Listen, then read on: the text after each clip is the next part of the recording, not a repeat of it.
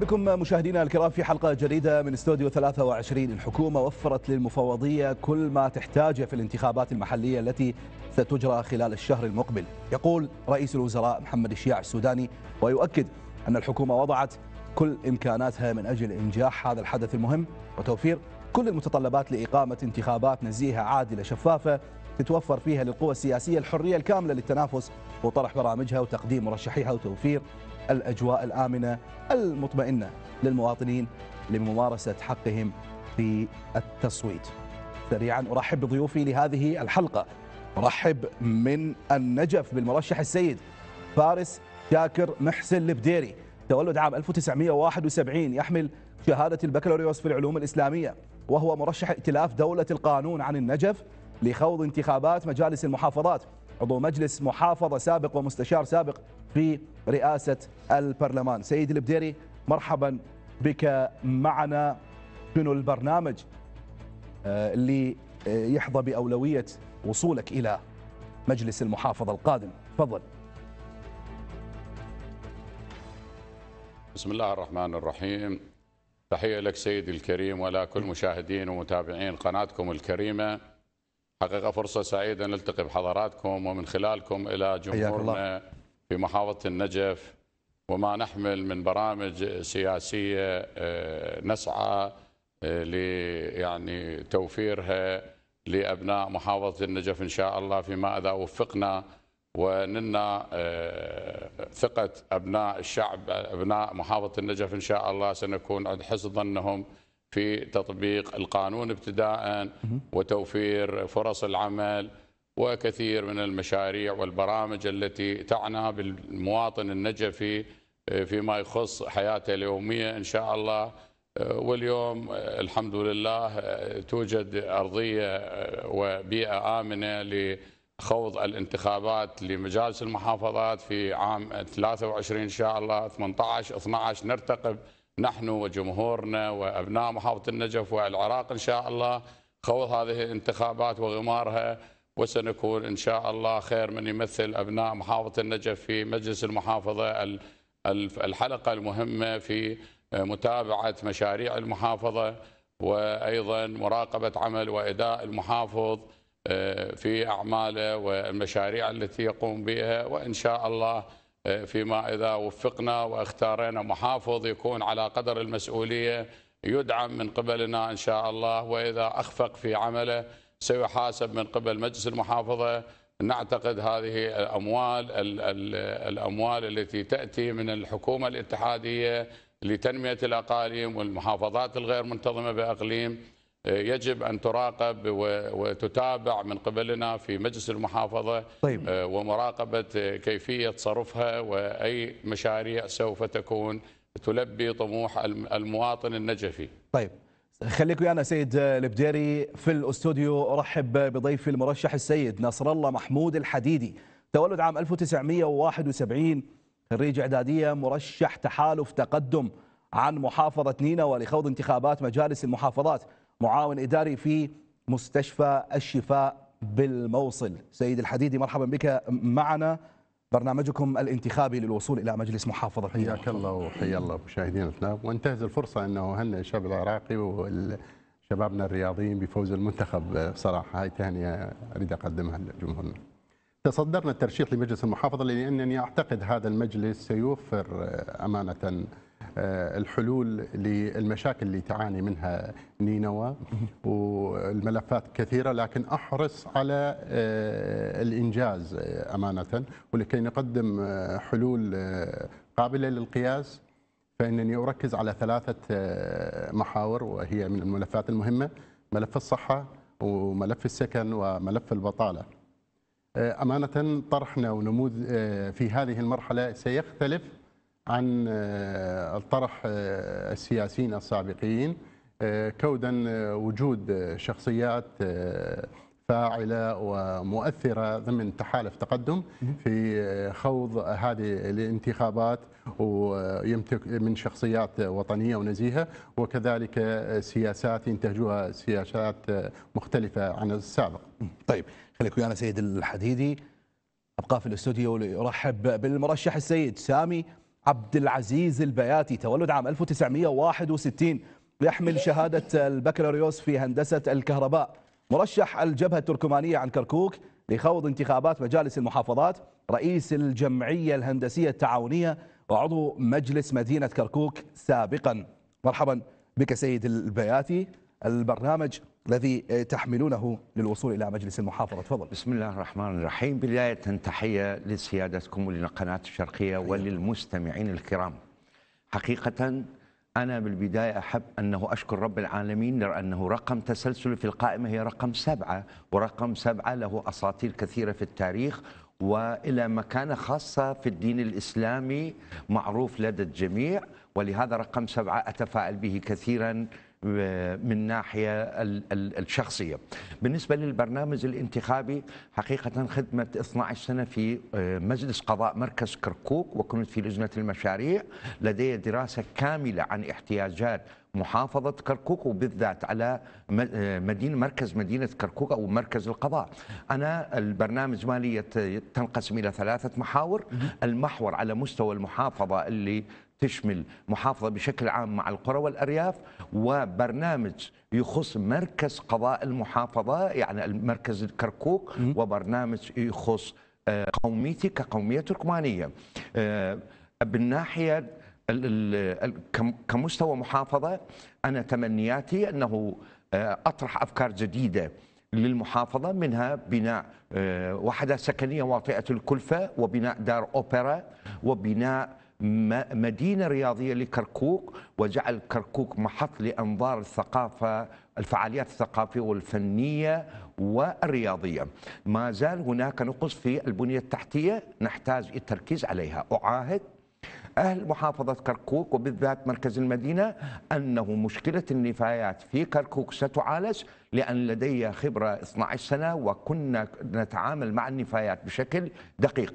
وهناك غبن على محافظة كركوك في تجهيز الكهرباء وفي تجهيز المنتوجات النفطية. سأكون عونا لأهل كركوك لرفع هذا الغبن بالتواصل مع الوزارات المعنية تأمين حصة كركوك من مبالغ تنمية الأقاليم والبترو دولار أهم نقطة هو خلق آه، أسواق شعبية لإتاحة آه، الفرصة للشباب كفرص عمل وإتاحة آه، فرصة بأسعار قليلة للتعامل مع المواطنين. طيب. إذا هذه هي أهم النقاط الرئيسية التي نتعامل بها إذا وفقنا رب العالمين كفوز. طيب إلى النجف مرة أخرى لأرحب من هناك بالمرشح السيد علي حمادي عزوز الزاملي تولد عام 1985 يحمل شهادة البكالوريوس في الآداب.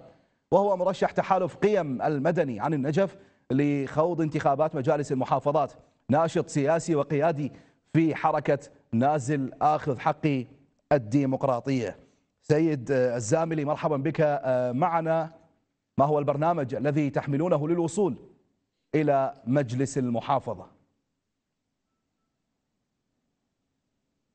نعم سيدي شكرا لك وأرحب بضيوفك الكرام. آه، في بادئ الأمر آه، يجب أن نعرف ما هي صلاحية عضو مجلس محافظة. آه، في الواقع الكثير من من المرشحين هم يعني يقدمون برامج هي ربما تكون ضرب من الخيال ولا يعرفون ما هي صلاحية مجلس محافظة. صلاحية عضو مجلس محافظة هي صلاحية تشريعية رقابية مقيدة. وقلت مقيدة لأنها على أن لا تكون على أن لا تكون تتعارض آه، مع آه، صلاحية مجلس النواب وهو السلطة التشريعية الأعلى في البلد. آه، في الواقع اليوم أنا من مدينة, من مدينة النجف عفوا هذه المدينة التي يجب أن تكون هي مركز وعاصمة الثقافة الإسلامية في العراق. مدينة النجف اليوم تفتقر لكل معالم عاصمة الثقافة الإسلامية للأسف أقولها وبحرقة.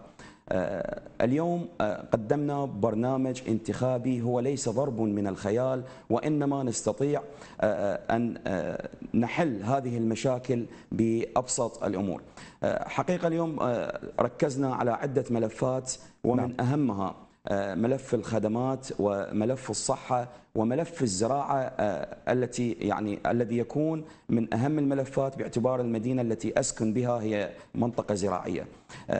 لنتطرق إلى بشكل موجز إلى بعض الحلول. مثلا ملف الخدمات اليوم آه، آه، نرى أن أن مياه الصرف الصحي في محافظة النجف أو بكل العراق مياه الصرف الصحي لا يوجد حل وعلى مر الحكومات المتعاقبة منذ عام 2003 لغاية اليوم.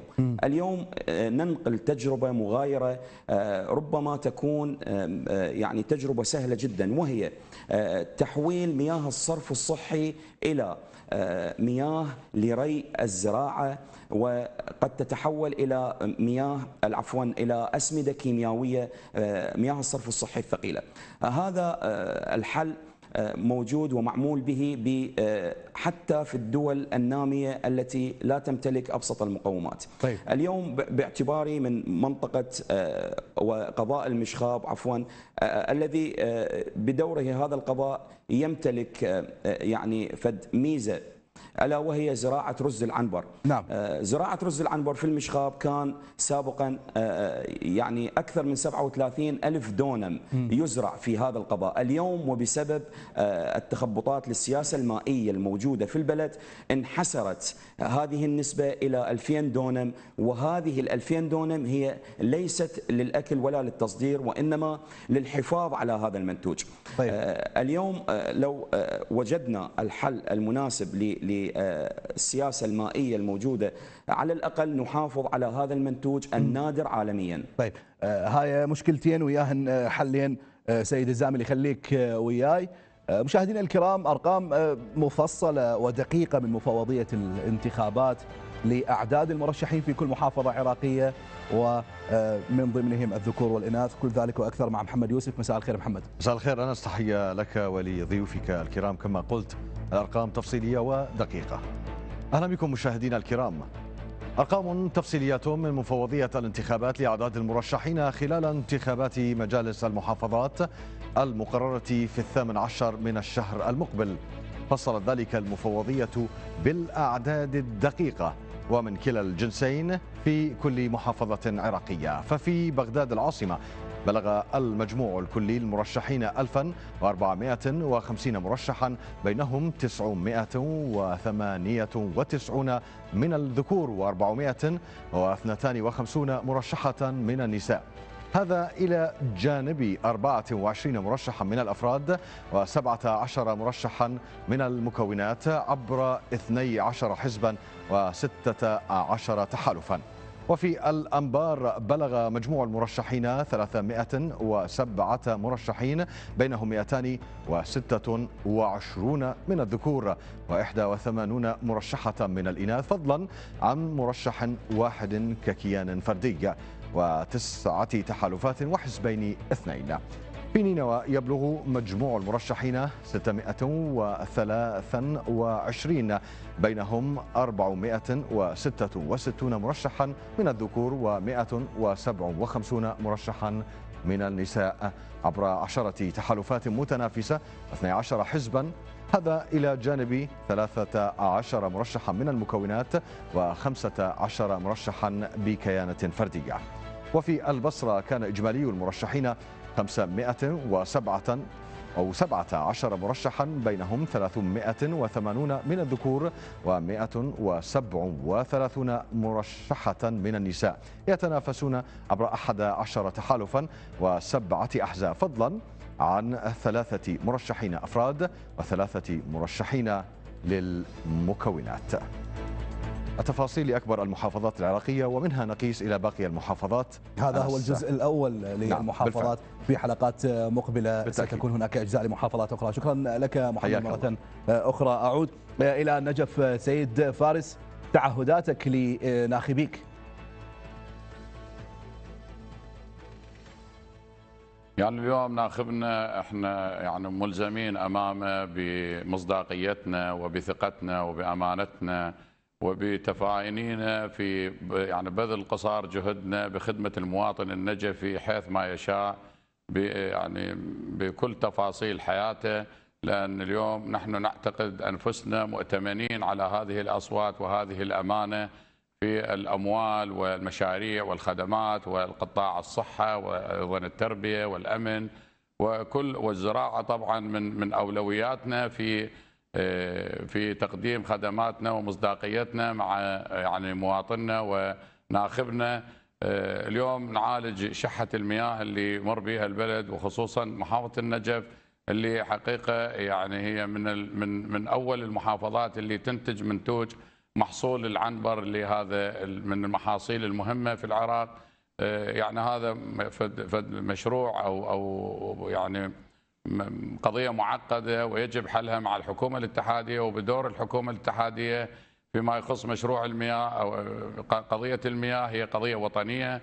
فنطالب طبعا الحكومة الاتحادية ورئاسة الوزراء بفتح هذا الملف مع الجارة تركيا لمعالجة شحة المياه. وهذا طبعا أيضا من أولوياتنا ودعم الزراعة. نعم. أيضا هذا قضية مهمة لدعم القطاع الزراعي. بما أنه إحنا اليوم أبناء ريف وأبناء فلاحين ف يعني من مهماتنا ومن أولوياتنا دعم القطاع الزراعي لأن هذا من من الموارد المهمة لدعم آه، الاقتصاد العراقي وكان يعني من الزمن آه، السابق كان يعني هو اعتمد على القطاع الزراعي وخرج من قضية الحصار والحصار اللي كان على العراق وقتل الشعب العراقي بحصاره طيب.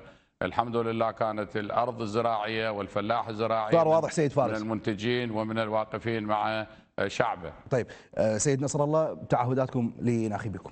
آه، بعد خدمتي الطويلة في آه، صحة نينوى وكنت أحد منتسبي الجيش الأبيض في مركز كورونا أمانة لدينا تصورات واضحة عن المشاكل اللي تعانيها صحة نينوى ومستشفياتنا للأسف للى الآن لن يوجد مستشفى لا في الأيمن ولا في الأيسر يوازي المستشفيات الموجودة في آه، دول الجوار.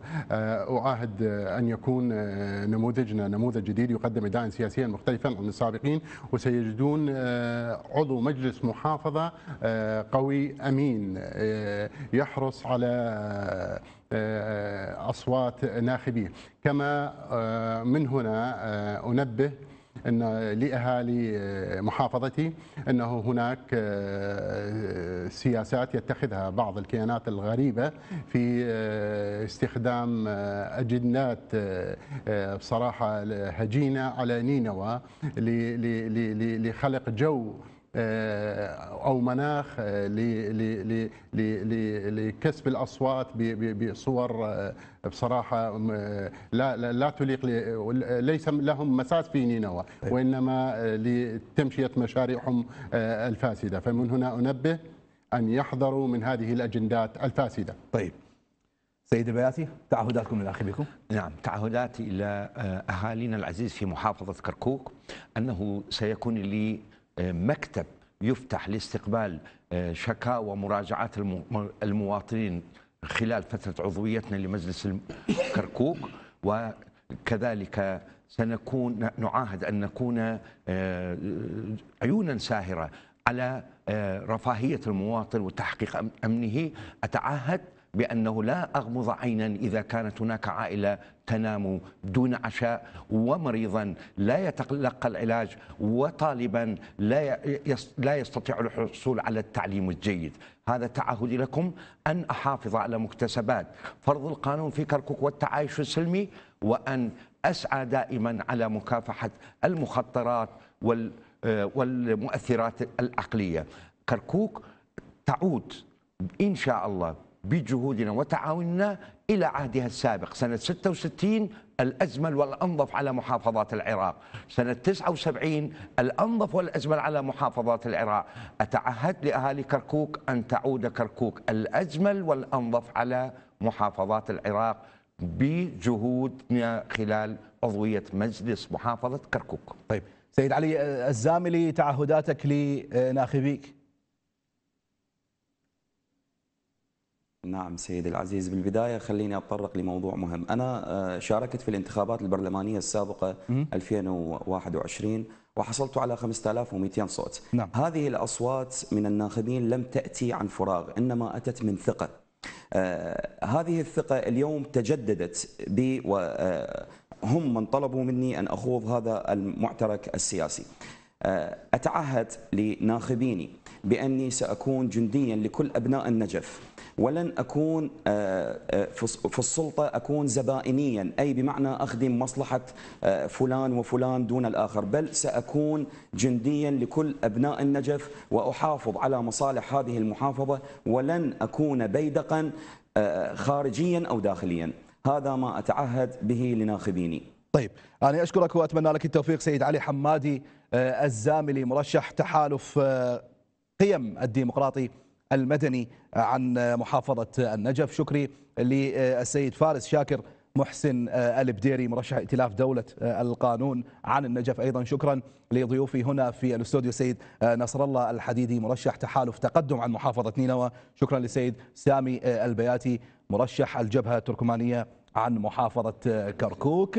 مشاهدينا الكرام نذهب نتابع هذا الاستطلاع الذي أجراه برنامج استوديو 23 في محافظة بابل لمعرفة آراء الناس حول قرب انتخابات مجالس المحافظات. ومن ثم نعود لنرحب بمجموعة أخرى من المرشحين.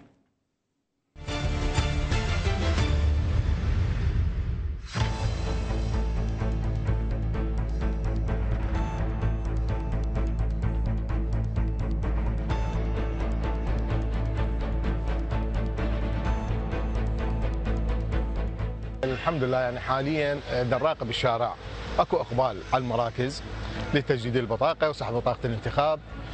وقلنا بلكي الله إن شاء الله على هالوضع هذا نغير الواقع مال محافظة بابل آه، الأعمال.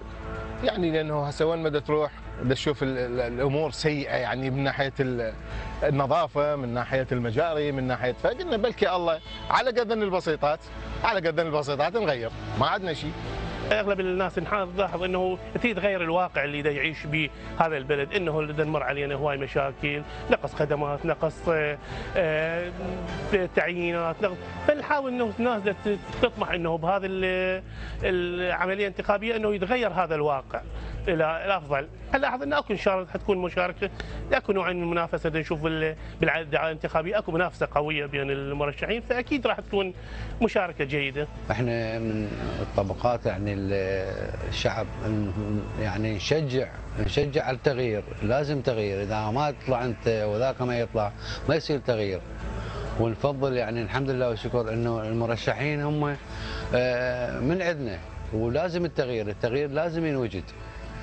فإذا أنت ما تطلع وذاك ما يطلع فما يصير تغيير. ما تغيير نفس الوجوه تنعاد مرة ثانية. إذا ما تطلع أنت وذاك يطلع. والله إن شاء الله إحنا نكيف المرشحين محافظه بابل اللي وخاصة المواطنين ينتخبون الكفوه والأجود من ابن منطقتهم اللي يقوم بواجباتهم باكر عقبة من ينتخبون المرشح لازم يدون عنده خدمات. فإحنا نشجع المواطن اللي ننتخب بمنطقته لأن باكر عقبة على مود يحاسبه مثل الخدمات، النظافة، التبليط، الشوارع. ونكون إن شاء الله بادرة خير الانتخابات. ابتدى أشوف يعني الناس مقبله على الانتخابات بالدليل إحنا نرجع معدل يوميا بين 120 إلى 130 بطاقة وهذا فد رقم جيد جدا بالنسبة إلى كمركز تسجيل. وأنت دائما نشوف الأعداد في تصاعد في وتيرة معناها إنه أكو إقبال. ابتدى أشوف أكو مواطنين يستلمون بطاقاتهم هذا دليل على إنه المواطن عنده حس انتخابي عنده وعي انتخابي ولذلك ولذلك إنه آه، إحنا يعني آه، بالإضافة إلى هذا اسمه إنه إحنا نريد نحث الناس على الاستلام البطاقه والمشاركة في الانتخابات لأن هاي العملية الديمقراطية لابد من عدها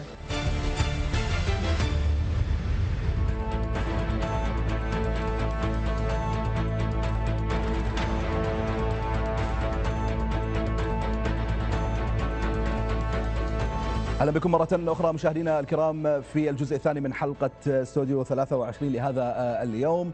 سريعا أرحب بضيوفي من ذي قار المرشح السيد حيدر عباس بدر الزيدي. تولد عام 1974 يحمل شهادة البكالوريوس في التاريخ وهو مرشح تيار الحكمة عن محافظة ذي قار لخوض انتخابات مجالس المحافظات مشرف تربوي وإداري ومستشار محافظ ذي قار لشؤون التربية. سيدي الزيدي مرحبا بك. برنامجكم للوصول إلى مجلس المحافظة. ما هو؟ تفضل. أهلا وسهلا. تحية طيبة إلى كادر ومشاهدي قناة الشرقية الفضائية. بالمناسبة محافظة ذي قار من المحافظات التي من المحافظات المهمة التي ساهمت بالفترة الأخيرة بتغيير قرارات مهمة على مستوى العراق. لذلك تستحق هذه المحافظة الاهتمام والرعاية من المجلس القادم. حقيقة بالنسبة لمحافظة ذي قار لديها معاناة كبيرة على مختلف القطاعات. نتحدث عن قطاع التربية نتحدث عن قطاع الصحة عن قطاع الزراعة عن الشباب بالرياضة على كافة المستويات. اليوم لدينا مشكلة كبيرة على مستوى البطالة. حقيقة نحتاج وقفة جدية من المجلس القادم بالتنسيق مع الحكومة المركزية بتوفير فرص للشباب من خلال المجلس الخدمة الاتحادي وكذلك تفعيل القطاعات الخاصة. اليوم مشكلة البطالة مشكلة مهمة وخصوصا أنه في هذه المرحلة من آه، الفترة آه، التي يعيشها البلد وخصوصا انتشار ظاهرة المخدرات وغيرها من الظواهر السلبية في مجتمعنا. نحتاج وقفة جادة بموضوع توفير فرص العمل للشباب وخصوصا أنه محافظة ذي قار تعاني من هذه الظاهرة. كذلك من الأمور المهمة اليوم التي تعاني منها محافظة ذي قار هو قضية توفير السكن والمجمعات السكنية. آه، يحتاج في هذا الموضوع آه، الكثير من القرارات المهمة بالتنسيق مع الاستثمار من خلال فتح الباب لكثير من المشاريع الاستثمارية والشركات الرصينة التي تساهم في توفير المجمعات لجميع الشرائح في المجتمع. كذلك من الأمور المهمة في محافظتنا العزيزة يحتاج آه، جهد كبير من المجلس القادم في توفير آه، ميزانيات تشمل جميع القطاعات بشكل متوازي بالوقت الذي نهتم بالخدمات من توفير تبليط إلى سبويس إلى غيره من المشاريع. نحتاج إلى جهد مضاعف في كافة القطاعات.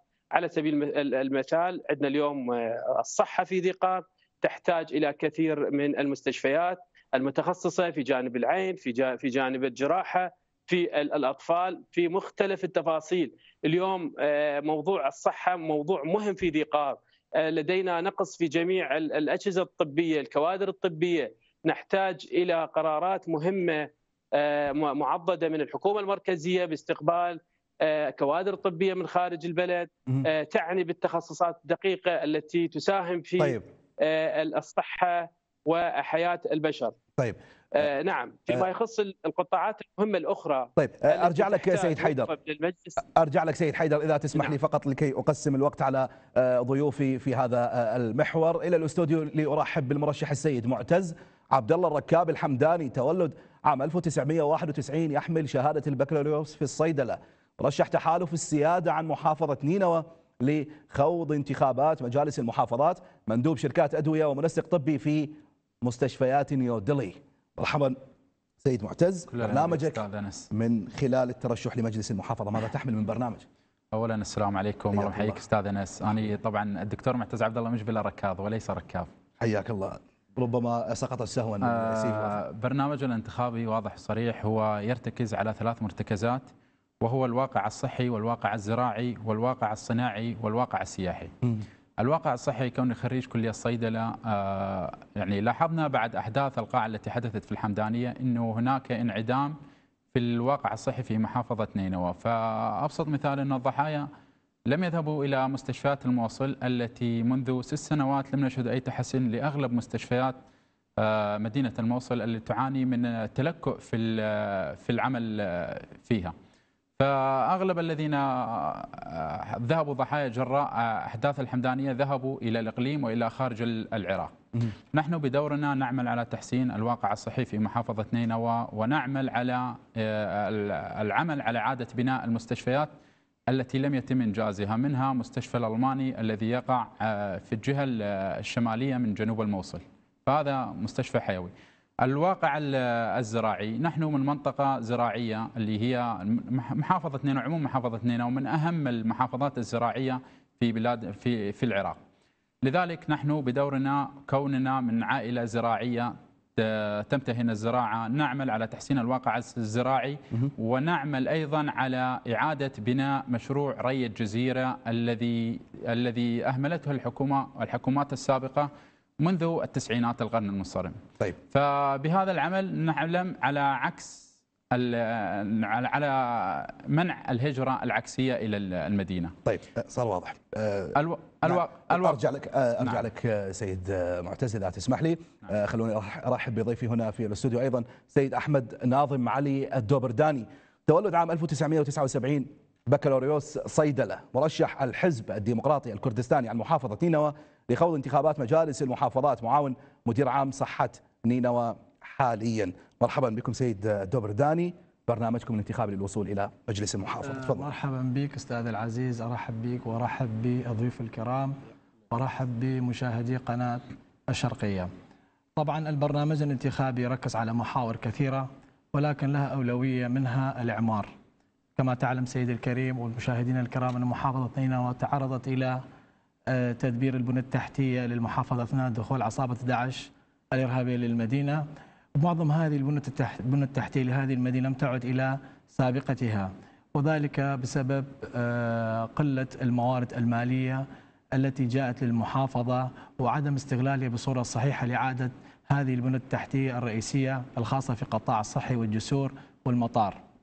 وأيضا هناك محور ثاني مهم هو دعم القطاع الصحي، صح أن القطاع الصحي آه، دورها كان ضعيف وذلك بسبب قلة آه، وجود مستشفيات الكبيرة التي تعرضت إلى إلى إلى الهدم أثناء تحرير المدينة حيث لدينا مستشفيات آه، رئيسية كبيرة داخل المدينة نسبة الدمار فيها تجاوزت 90% ولم تعد إلى سابق عهدها قبل 2014 منها مستشفى ابن ابن سينا والسلام ومستشفى الجمهوري.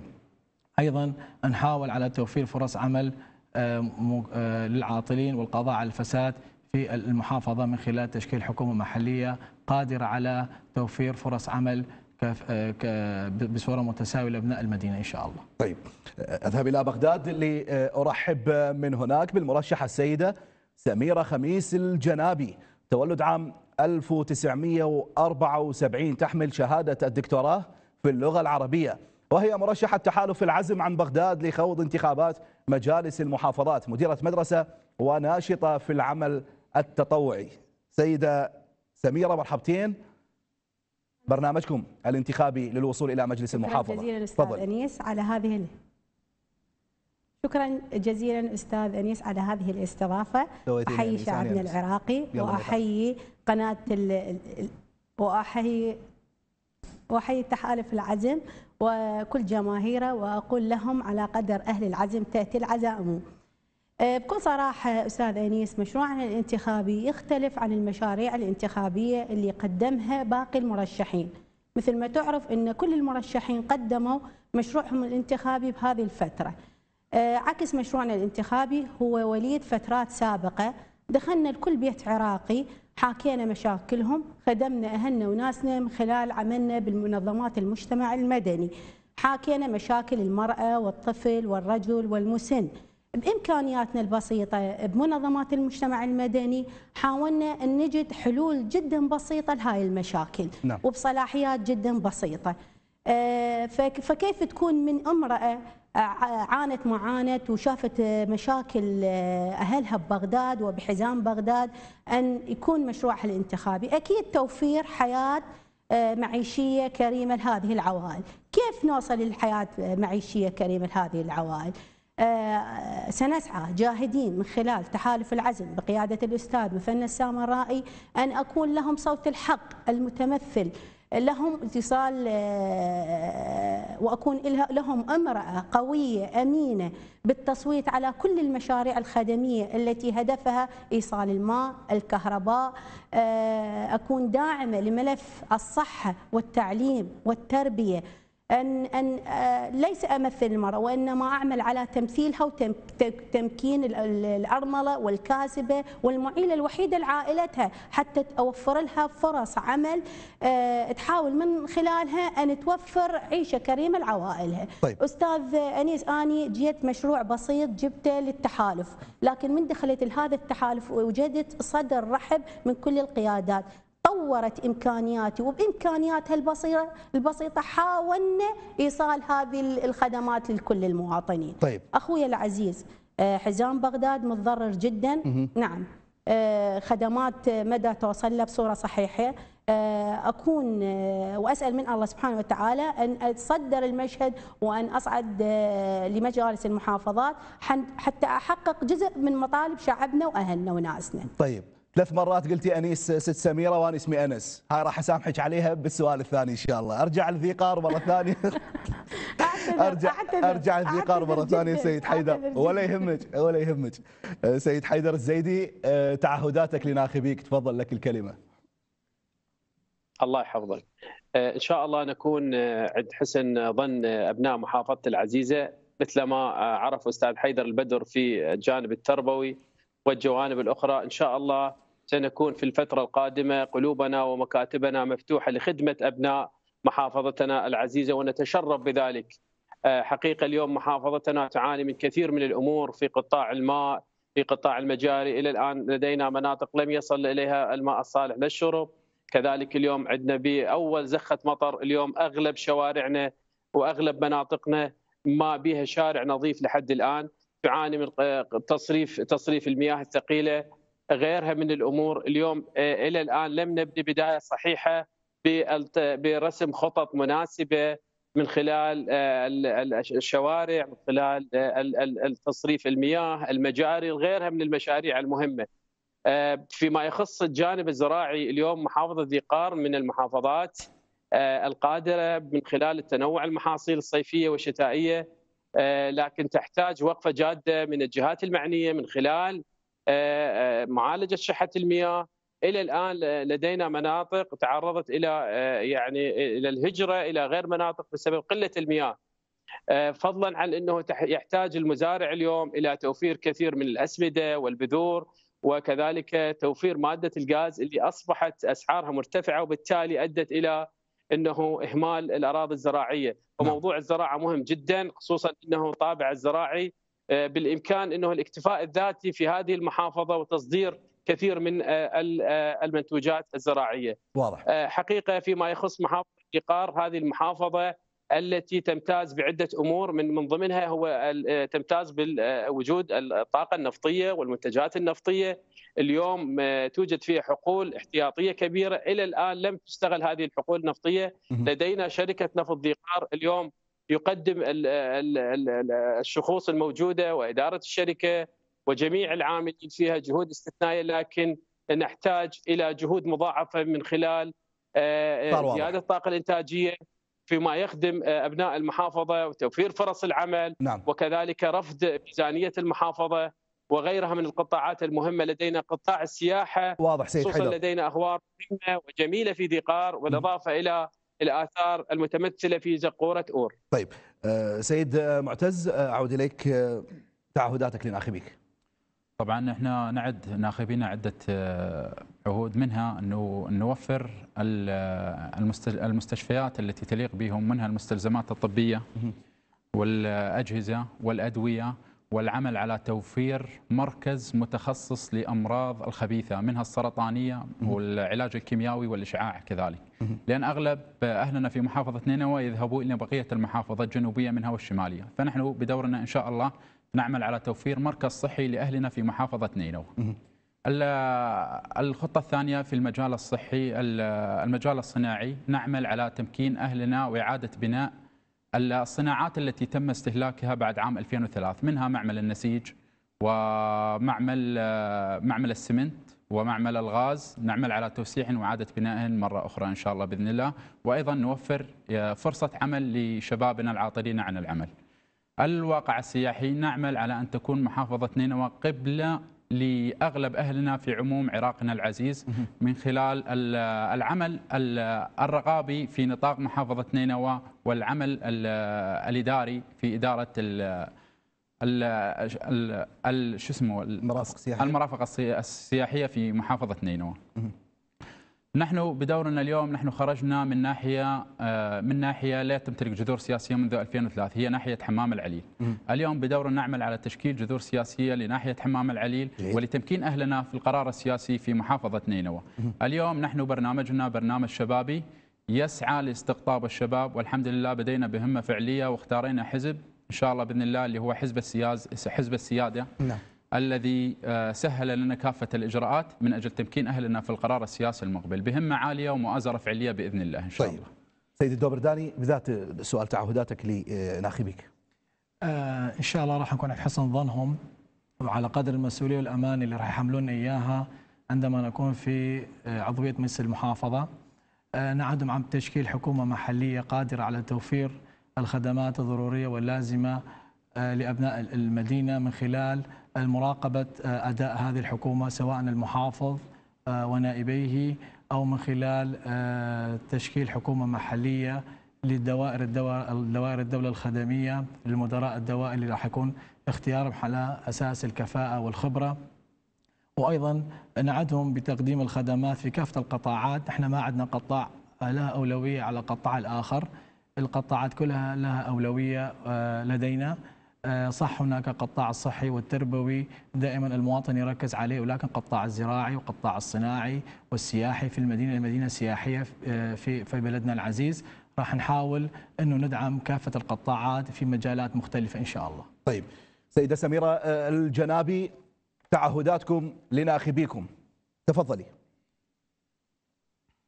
أستاذ أنس آه، على قدر أهل العزم تأتي العزائم آه، إحنا ما راح ننطي وعود معسوله للمواطن راح نعمل على قدر المستطاع راح نكون شركاء بصنع القرار راح يرصدوا لي السلبيات ومن خلال آه، إن شاء الله عضويتي بمجلس محافظة بغداد سأعمل جاهدة أخت وبنت وأم لكل مواطن عراقي اوصل صوته وأحاول أحقق أهدافه وآماله. طيب آه، مشوار آه، موفق للجميع. أنا أشكرك الشكر الجزيل. سيدة سميرة خميس الجنابي مرشحة تحالف العزم عن بغداد لخوض انتخابات مجالس المحافظات.